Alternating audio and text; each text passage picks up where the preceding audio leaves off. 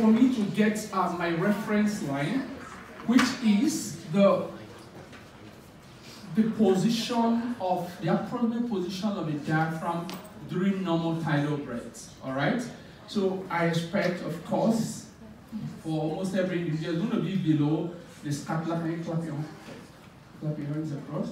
Um, so I'm going to start from, I know I'm expecting his seated to be somewhere here. So I'll just go down and notice where I notice a change in that percussion note. Note that I'm not on the vertebrae, I'm not on the transverse process, I'm in the lungs. The same point, the mid clavicular line.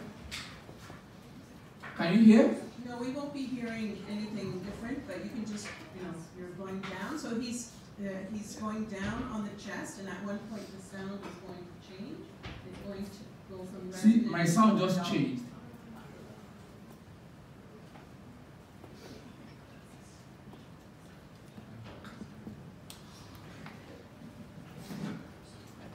Okay. All this. So the, the patients will be breathing normally um, when you're just trying to assess where the normal FRC level of the diaphragm is. You're just they're breathing fine. They're not holding their breath. So the patient is breathing normally.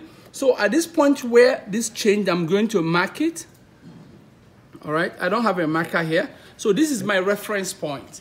Then I'm going to have the patient. Excuse me, David, uh, there's no point in putting the mic next to the chest. We don't really hear the, the percussion notes. So it's Okay. just to demonstrate it. Okay, so at this point, I'm going to ask the patient to take a deep breath. And if the patient breathes in, should the diaphragm go up or down?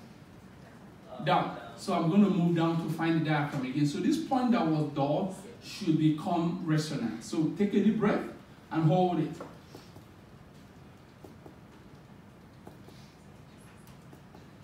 Relax. So, So the, my the sound that is resonant would become dull. becomes dull again. So I mark this point, and then I go back to my reference line and ask the patient to breathe in and breathe out completely. Breathe in and breathe out completely.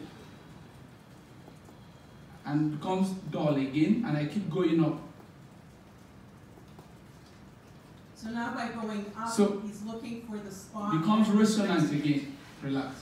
So I'm going to measure the distance between this and this. Note that I'm going one finger breadth after each other. If I go from this and go to this, I've jumped a segment and that would be my point where the diaphragm is. So one finger breadth down on top of each other.